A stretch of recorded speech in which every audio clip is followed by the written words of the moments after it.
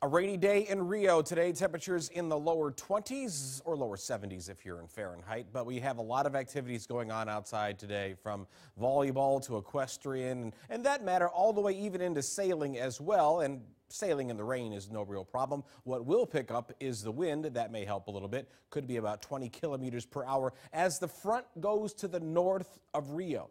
And if you think about this in the northern hemisphere, that means things are going to warm up. But we're not in the northern hemisphere, we're in the southern hemisphere, and it's cold down there in Antarctica. So colder air making its way into the arenas here across Rio for the next couple of days. It will warm back up on Sunday, but for the next few days, we will certainly be colder than we've been with a southwest wind, which is a cold wind. Temperatures in the 20s, lower 20s for the rest of the week, but almost back up to 70. Uh, 84 for Sunday, 29 Celsius. So it does warm up finally by the end of the weekend.